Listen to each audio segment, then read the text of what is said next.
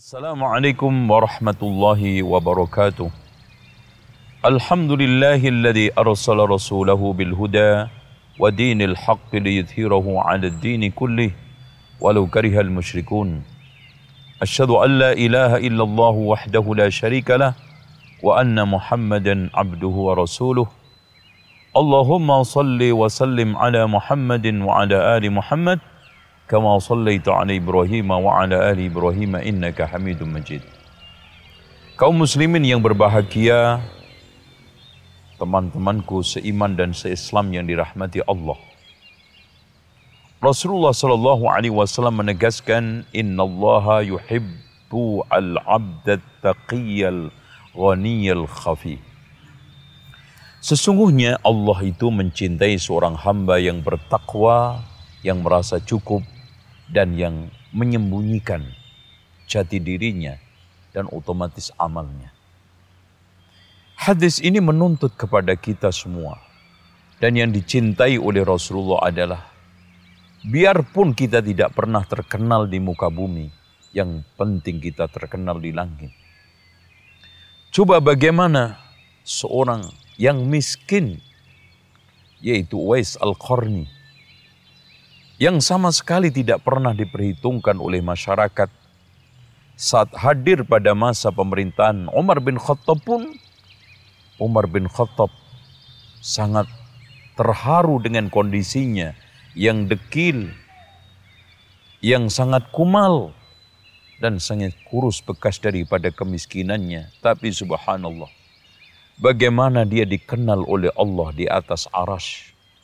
Sampai akhirnya disampaikan kepada Rasulullah Sallallahu Alaihi Wasallam, ada seorang yang namanya Uwais Al-Qarni yang doanya sangat mustajab. Bila datang kepada kalian, hendaknya kalian minta kepadanya agar dia mendoakanmu kepada Allah dengan berbagai macam doa kebaikan. Dengan demikian seorang muslim yang ikhlas selalu mementingkan apa yang ada tersembunyi di dalam hatinya. Karena barang siapa yang tersembunyi lebih baik daripada yang nampak, itulah orang yang ikhlas. Yang memiliki fadilah, minimal antara yang sembunyi dengan yang nampak itu sama. Dialah orang yang jujur di dalam imannya. Adapun orang yang sekarang ini, yang nampak lebih baik daripada yang sembunyi, maka dia adalah munafik. Bukankah Allah Subhanahu wa taala menjanjikan naungan? Di masa nanti tidak ada naungan kecuali naungan Allah. Buat orang tuju semua adalah orang-orang yang mampu menyembunyikan kebaikannya. Tidak diketahui oleh siapa pun. Ikhlas di dalam mengamalkan semua itu. Di antaranya adalah imamun adil keikhlasan dia untuk memimpin rakyatnya. Sehingga walaupun berat maka keadilan terus ditegakkan. Yang keduanya adalah rajulun qalbuhu mu'allaqun bil masajid. Orang yang tertaut hatinya dengan masjid. Mundar-mandir tanpa upah ke masjid. Mundar-mandir tanpa ada karir yang dikejar. Atau popularitas yang dia ingin cari. Tapi betul ingin mendapatkan ridha Allah. Walaupun tidak pernah terkenal di muka bumi. Tapi yang paling penting terkenal di hadapan Allah subhanahu wa ta'ala. Yang keduanya, syabun nasya'a fi ibadatillah. Orang yang tumbuh besar, anak muda yang tumbuh dewasa, selalu di dalam rangka taat kepada Allah. Tidak pernah menyimpang. Tidak pernah ada suatu target-target ingin memejar, ngejar ketenaran, ke popularitas, sehingga mengorbankan agamanya tidak. Bahkan dia tetap istiqamah, bahkan dia tetap ibadah kepada Allah walaupun tidak harus membuat dia itu terkenal. Dan yang keempat, rajulani tahaba fillah, istama alaihi wa tafarraqa alaihi, orang yang berkasih sayang karena Allah. Tidak ada suatu pamrih bisnis yang dia kembangkan. Tidak ada suatu organisasi yang dia bersama-sama ingin dikenal menjadi tokoh di masyarakat, tidak.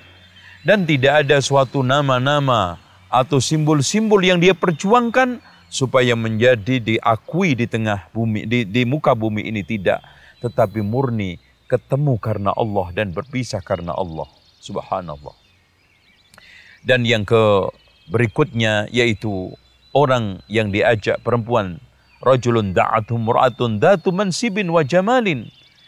Dia ajak wanita untuk serong.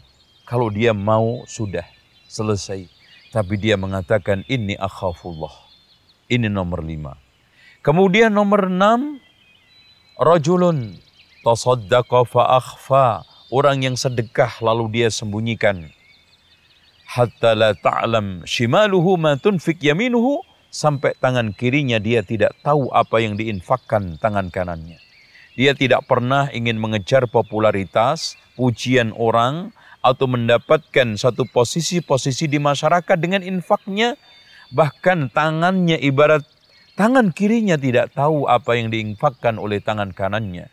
Apalagi di-upload di Facebook, apalagi sekarang dibagikan di dunia maya, sehingga amalnya semuanya hancur dan yang ketujuh adalah rajulun dzakarallaha khaliya.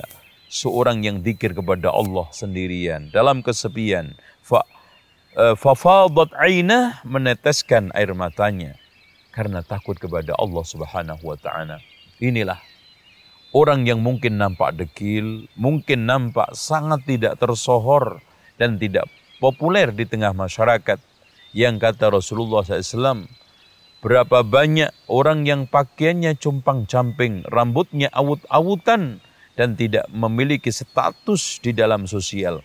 Tapi kata Rasulullah, Lau aqsama ala Allahi la abarrah. Kalau seandainya disumpah atas nama Allah, Allah akan kabulkan. Demikian, mudah-mudahan kita menjadi orang-orang yang terkenal di langit. Dikenal di hadapan malaikat di sisi Allah al-muqarrabin Walaupun kita tidak pernah dikenal di masyarakat. Walaupun kita tidak pernah tenar di muka bumi. Yang penting kita tenar, terkenal, popularitas kita tinggi di hadapan Allah subhanahu wa ta'ala. Dan itu kata Rasulullah SAW, Mashtama'a qawmun fi baitin min buyutillah, yatluna kitab Allah wa yatadarusuna fima bainahum, illa nazalat alimu sakinah, wa ghasyatuhum rahmah, wa haffad bihimul malaikah, wa fi man indahum. Dituturkan disebut-sebut di sisi malaikat yang dekat dengan Allah dengan Al-Qur'an dengan mengkaji Al-Qur'an dekat dengan Al-Qur'an insyaallah aku qauli hadza wastaghfirullah li واستغفر الله العظيم إن الله هو الغفور الرحيم والسلام عليكم ورحمة الله وبركاته.